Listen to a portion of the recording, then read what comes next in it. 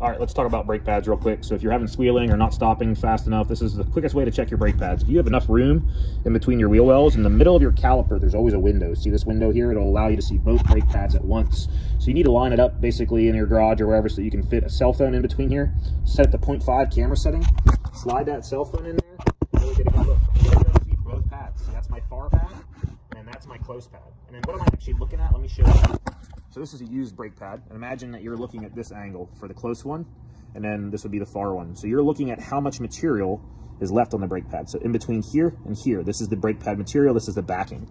Anything less than three millimeters, um, this is three millimeters. Two pennies is equivalent to three millimeters. Needs changed. So you can see this one, even used, I still had a good bit of room left on it, but I changed them anyway. So hopefully that will give you some help with brake pads.